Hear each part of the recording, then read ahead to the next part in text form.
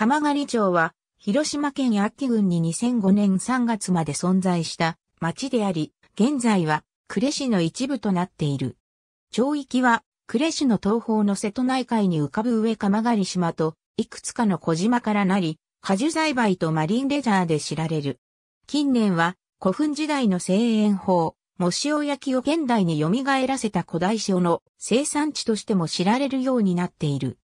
2005年3月20日、秋郡の温度町、倉橋町及び豊田郡の豊浜町、安浦町、豊町とともに、呉市へ編入合併したことに伴い消滅した。気候は瀬戸内海式気候の影響により冬は温暖である。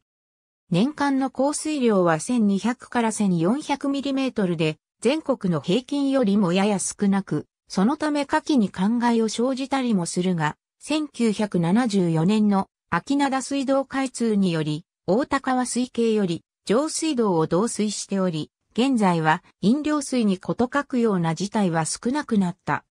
総人口2600人余りのうち65歳以上の高齢者が占める割合は41.6%と、ご多分に漏れず、過疎、高齢化の悩みも抱えている。戦前は、さつまいも等の畑作農業が主な産業であったが、戦後みかんの栽培が全町に普及した。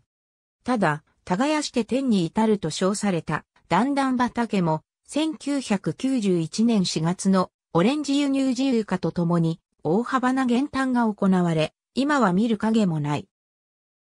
現在はみかんなど柑橘類やスモモの栽培、漁業を主たる産業としている。旧町域内は通っていない。旧町域内は通っていない。旧町域内は通っていない。